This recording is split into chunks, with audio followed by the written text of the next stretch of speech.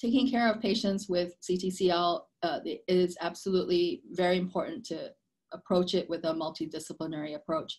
It's because the patients, they can have different stages of disease. Um, most patients who have, you know, CTCL, the most common being mycosis fungoides, they present initially with skin lesions, but uh, if they do progress to advanced stage, they will involve lymph nodes and then also the blood.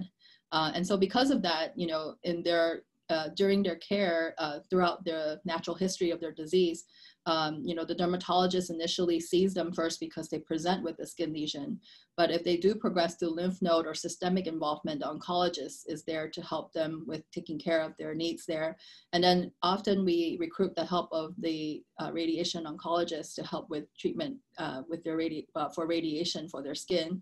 And then pathology is also very important to have the pathologist uh, involved with the you know, review of the cases because as I mentioned earlier, the subtype uh, of the patient is very important to determine that when the patients are seen so that you can adequately kind of um, categorize them into the right treatment that they need. Yeah.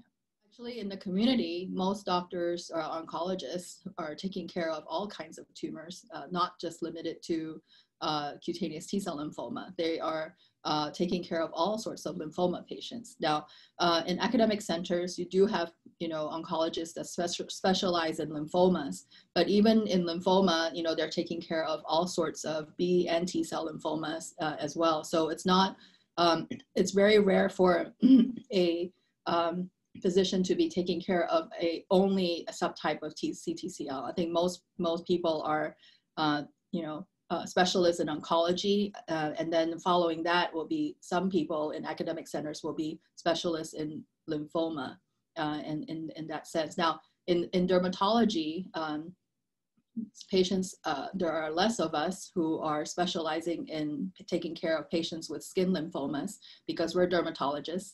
Uh, and skin lymphoma patients, they, they can be B or T cell lymphoma patients as well. And so we take care of all kinds of patients, even patients who have uh, lymphoproliferative disorders. So, you know, they could be like a pre-malignant state or uh, they could have uh, lesions that could be not quite the diagnosis of lymphoma yet, but they are suspicious for it. Uh, we even take care of those patients as well.